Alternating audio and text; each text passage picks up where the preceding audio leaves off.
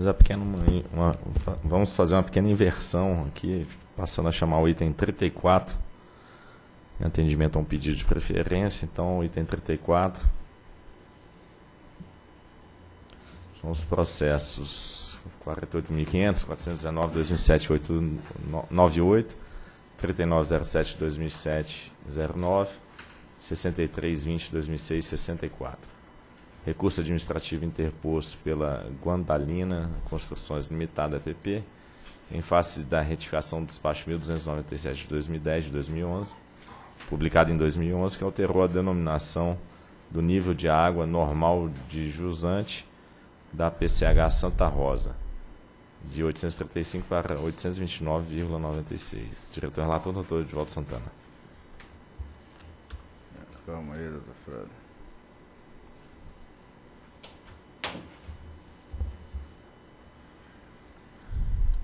Qual o número? Ah, ah, 34. 34. Aqui era fácil se eu tivesse assim, item 34, era aqui, tá, mas eu já tem que abrir de novo aqui para.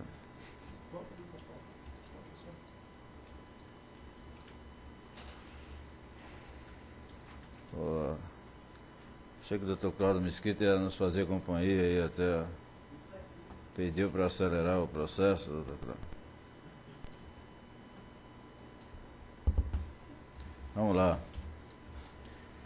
Em 19 de 3 de 2004, o despacho SGH 214 aprovou os estudos de inventário hidrelétrico simplificado do rio Chapecó, em trecho limitado a pelo reservatório da PCH São Domingos, atualmente denominada Ludeza, e a montante pelo canal de restituição da PCH Rondinha, no qual consta a PCH Santa Rosa, com 8,10 MW de potência, e nível de água NA 858 metros de montante e 835 de jusante.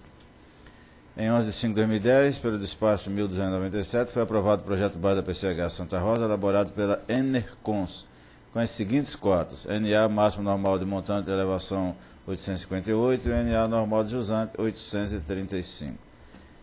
Em correspondência datada de 31 de 5 de 2010, 7 de 6 de 2010, a Santa Rosa inf- informou inconsistências nos níveis ao trimestre do projeto básico aprovado, que alterava a denominação do NA de jusante para 827.645 metros. Em 22 de 11 de 2010, pela correspondência, Santa Rosa confirmou que as diferenças se deviam à utilização indevida de cotas geométricas nos estudos de inventário e solicitou sua incorporação no projeto básico aprovado. Em 16 de 9 de 2011, após a análise das informações, a SGH, pela nota técnica 387, concluiu por alterar a denominação do NA de jusante da PCH Santa Rosa de 835 para 829,96 metros no projeto básico aprovado, o que foi retificado pelo despacho SGH 1297. Em 10 de 7 de 2007, a Guandalina solicitou registro para a elaboração da revisão do estudo de inventário hidrelétrico do rio Chapecó, no trecho entre os níveis 835 metros e 757 metros, que corresponde ao canal de fuga da PCH Santa Rosa, e o remanso da PCH Prainha, qual foi efetivado em 20 de 8 de 2007, pelo despacho 2623 da SGH. Em 31 de 3 de 2008, pela correspondência, a Guandalina comunicou a substituição do responsável técnico pelos estudos pelo engenheiro Ivo Augusto de Abreu Punhalone, da Enercons, a partir de 26 de 3 de 2008, o constituindo como seu procurador para representar a empresa na ANEL nos assuntos referentes ao estudo de revisão de inventário do rio Chapecó. Em 17 de 8 de 2008, a Guandalina protocolou os estudos de revisão de inventário do estado do rio Chapecó, que recebeu aceite técnico em 18 de 1 de 2009 pelo despacho SGH 169. Em 28 de 3 de 2011, pelo despacho 1363, com fundamento na nota técnica 80, a Guandalina foi selecionada para fim de análise entre os estudos concorrentes. Essa mesma nota técnica identificou a necessidade de compatibilizar o nível de montante do aproveitamento do trecho mais alto da revisão do inventário com o nível de jusante da PCH Santa Rosa, o que foi informado para Guandalina por meio do ofício 2764 de 2011. No entanto, em virtude da questão ainda encontrar-se análise pela SGH, foi solicitado pelo ofício 3029 que a Gondalina aguardasse posicionamento definitivo da área técnica foram sobrestadas as solicitações feitas pelo ofício 2764 até o novo posicionamento.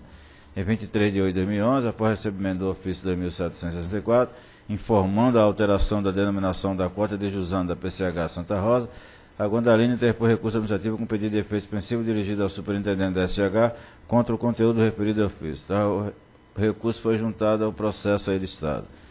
Em 26 de 8 de 2011, a Guandalina, pela correspondência e e-mails, e, e mais dois e-mails, trouxe uma série de denúncias e acusações contra servidores da SGH.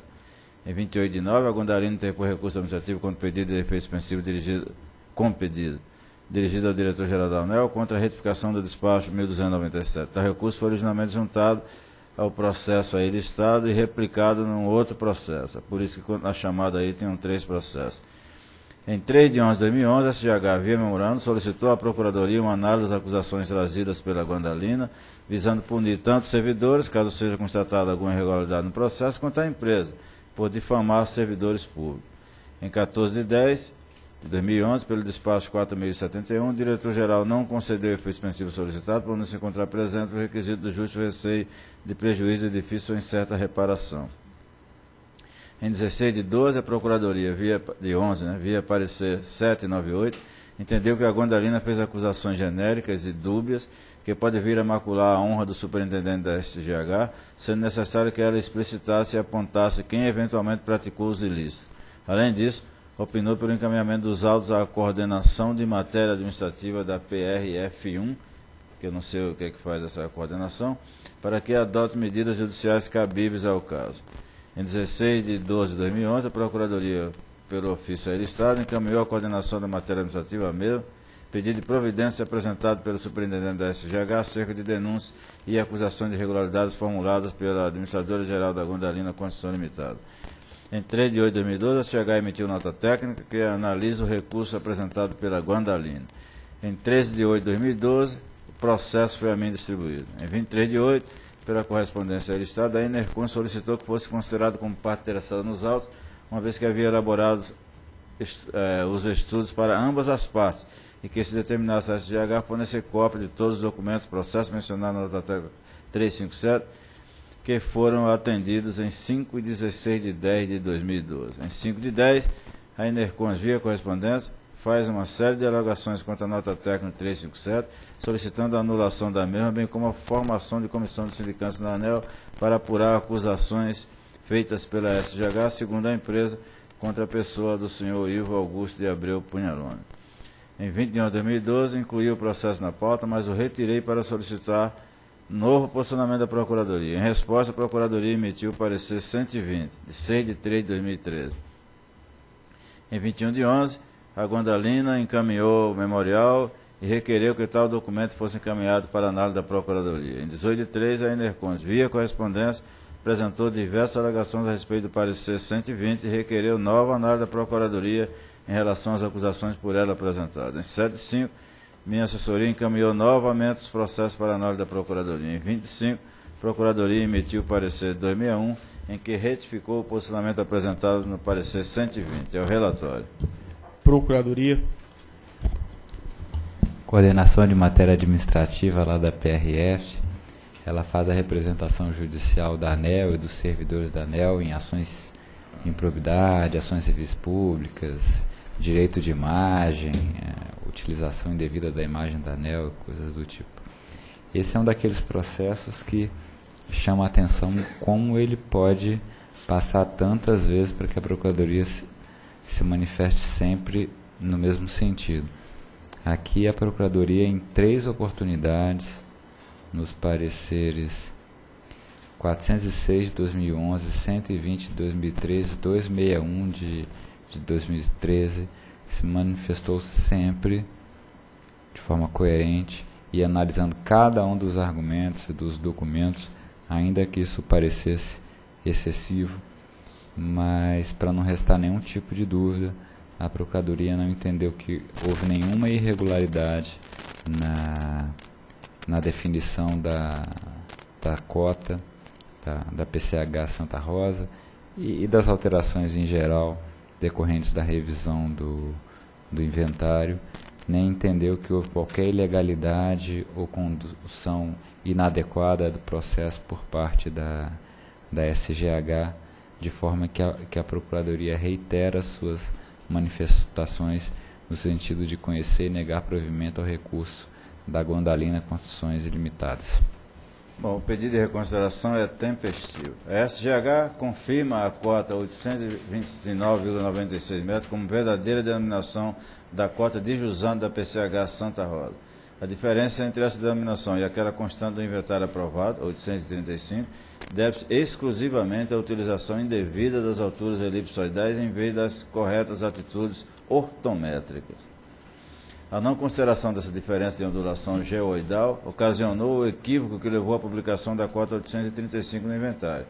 Como se pode ver nas explicações detalhadas pela SGH na citada nota técnica, é, que não houve alteração altimétrica, que a PCH continua no mesmo lugar e nas mesmas coordenadas planimétricas. Houve apenas uma mudança na denominação da cota.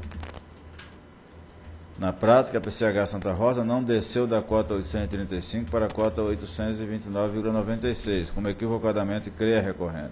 Ocorre apenas que a cota que antes era chamada de 835 metros passou a ser chamada 829,96, continuando no mesmo local físico, com as mesmas coordenadas, etc, etc. Portanto, o trecho inventariado pela empresa Gondalina continua sendo o mesmo de antes e não sofreu qualquer alteração e não vai haver qualquer alteração de potência, ganho ou perda para qualquer dos projetos de PCHs envolvidos.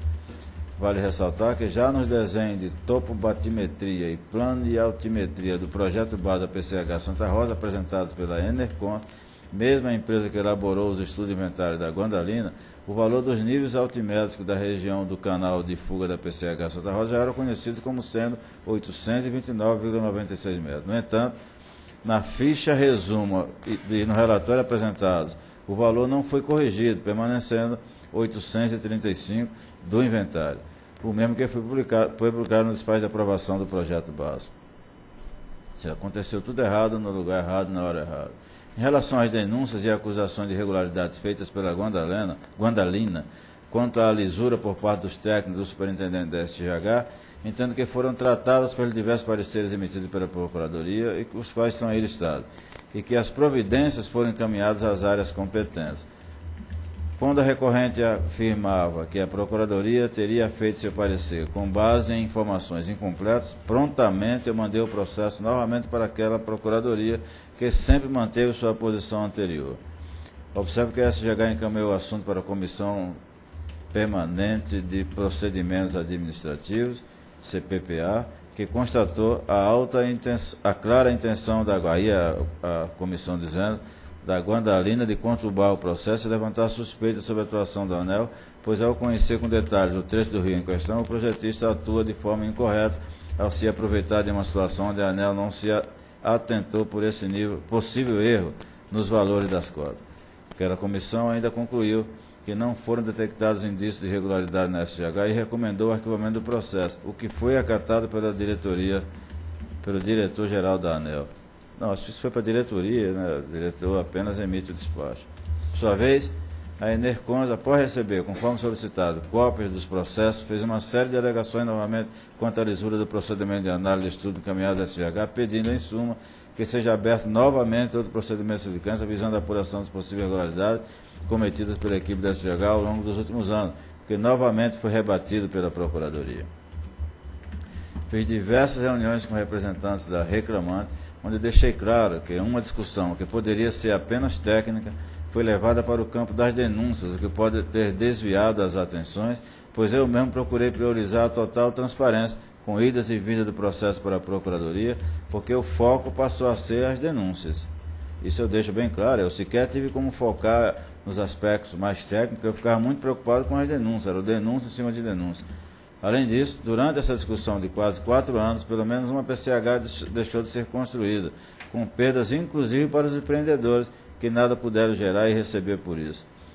Você não, tem, não inviabiliza nenhuma PCH, apenas uma delas fica menor do que o que se imaginava se a cota fosse uma outra, mas ela já poderia, inclusive, estar construída. Do ponto de vista técnico, recomendei a Gondalina que, como o problema era físico, verificação de cotas em determinado local de um trecho inventariado, que alguém fosse a campo verificar os dados da SGH, o que me fez esperar mais um tempo sem trazer o processo para a deliberação. Nenhuma informação foi trazida ao processo. Mas eu só agora lendo aqui, eu me dei conta que em momento algum eu, eu falei aqui né, em manifestação da outra parte, da outra empresa, que eu nem lembro o nome qual é, era apenas uma manifestação. Diante do exposto do que consta dos processos, voto por conhecer no mérito, negar provimento ao recurso da Gondalina Construção Limitada, EPP, no sentido de manter o despacho 1297-2010 da SGH. É o voto. Em discussão. Em votação. Voto com o relator. Também voto com o relator e proclamo que a diretoria da ANEL decidiu conhecer e, no mérito, negar provimento ao recurso da Guandalina Construções Limitada, EPP, no sentido de manter o despacho 1297-2010 da SGH ANEL. Próximo item.